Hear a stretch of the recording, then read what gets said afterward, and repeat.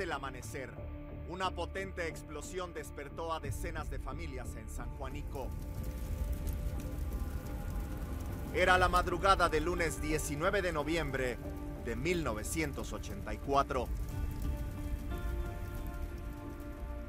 Una bola de fuego proveniente de la Tierra se levantó a casi 2.000 metros de altura. Eran las instalaciones de gas ubicadas en San Juan Ixguatepec.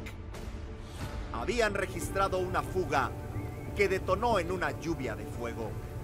Recuerdo que mi, mamá me movió, me despertó, así de una manera muy, muy brusca. Abrí los ojos y cuando vi, vi oscuridad, pero vi un, como si un, un sol muy radiante y mucho ruido en la calle. Recuerdo, eso, eso es lo que recuerdo, lo primero que, que vi. Mucho, mucha luz, muy, muy radiante y mucho ruido de gente gritando. Cinco minutos después, otro estruendo cimbró la tierra. Y diez minutos más tarde, otra todavía más fuerte. Durante los siguientes 50 minutos, se registraron más de 10 explosiones en toda el área. Yo no sabía qué era, yo dije, este, explotó el tanque de gas, este, este, eh, a lo mejor es un terremoto, este, o sea, no, no, eso me causó muchísima angustia, pero enseguida hubo otra explosión muy fuerte. Y pues yo al no saber qué estaba pasando, agarré al niño y me salí. Pero me salí, pues este, ahora sí que no sabía ni para dónde iba. 40 cilindros de gas, algunos enteros y otros hechos pedazos, salieron volando contra las casas dentro de un radio de casi un kilómetro. Los que pudieron salieron de sus hogares, sin poder imaginar que las calles serían el lugar más peligroso para refugiarse. Del cielo caían proyectiles de fuego. Las esferas tronaron, como era gas licuado de petróleo, pues es líquido.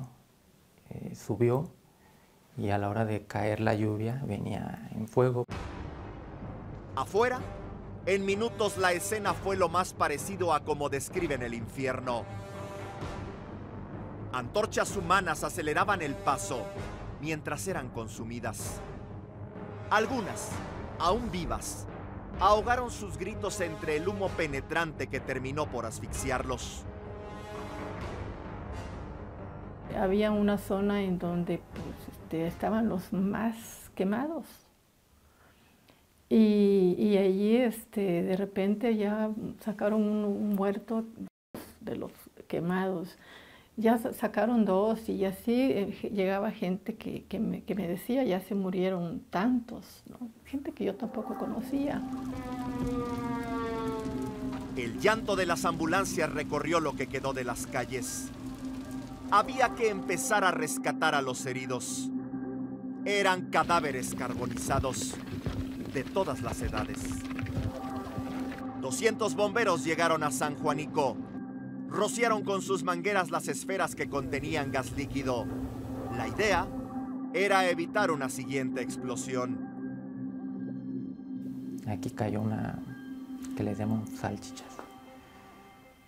Una salchicha 20 metros de largo y caer sobre una casa. Y cuando algo- veces que paso por ahí, pues recuerdo, digo, esa familia ya no, pues se acabó, ¿no? Antes del mediodía, la mitad de San Juanico había quedado desalojada.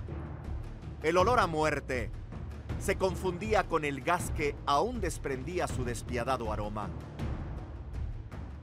Cuerpos cubiertos con sábanas explicaban el tamaño de la desgracia sin decir una sola palabra.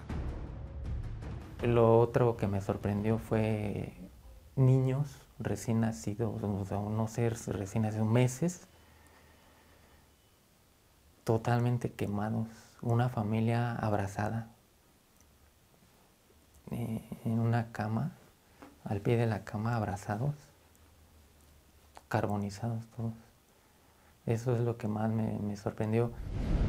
Cualquier casa medianamente habitable se convirtió en clínica improvisada. El reparto de comida y de agua fue insuficiente. El desfile de ataúdes quedó eternizado en estas imágenes que le dieron la vuelta al mundo. Sigo llorando esas heridas de mi hijo. No las he podido sanar. Sanaron las mías, pero las de él no. Ahí están. Sangran a cada rato.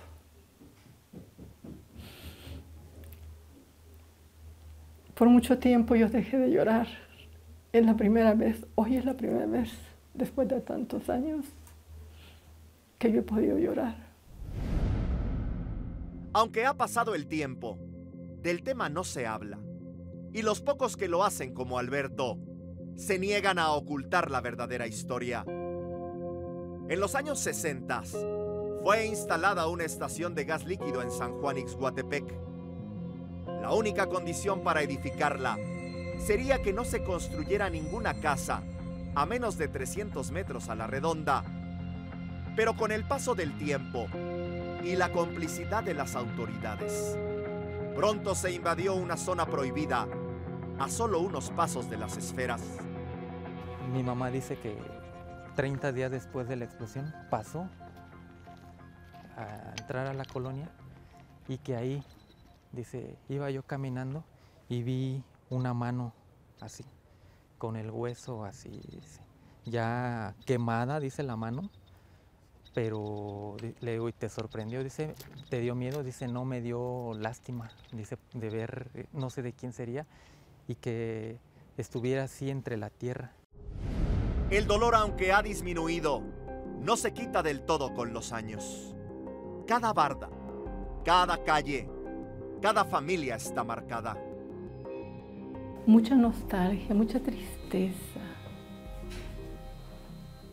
La gente yo la veía cabizbaja, sin ánimos. Lógicamente, habíamos, había, habían familias enteras que se perdieron.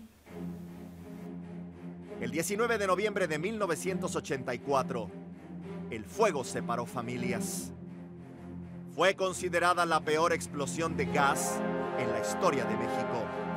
Recuerdo cuando ya estaba un poco más grande, que había mucha gente en la calle quemada, lisiada, sin piernas, no tenían manos, tenían tenazas. Yo tuve compañeros en la primaria y es difícil, eh, si para uno es difícil convivir con ellos, e, e, ellos cómo, cómo se, se sentían, ¿verdad? Este, completamente quemados. Aunque no es oficial, hay un pacto de silencio entre los habitantes de San Juanico. Don Trino, por ejemplo, no pudo convencer a su esposa ni a su mejor amigo de hablar frente a las cámaras. Le digo, mira, me hablaron de TV Azteca para hacernos una entrevista sobre esto y esto. Ya le comenté, ¿gustas acompañarme? Dice, Trino, estás loco. Eso no es de acordarse. Dice, no me digas más, no te acompaño. Entonces ya hay dos, dos personas que me dicen que estoy loco, mi esposa y él. Entonces digo, realmente, pues no se ha olvidado, ¿verdad?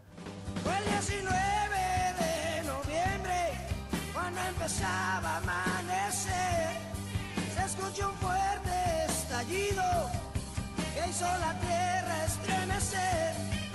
Una explosión de gas hizo simbrar el norte de la ciudad. Miles de niños y familias se quedaron sin hogar. A más de 30 años de distancia, San Juanico es noticia. Ha escrito su nombre en la página de los sobrevivientes.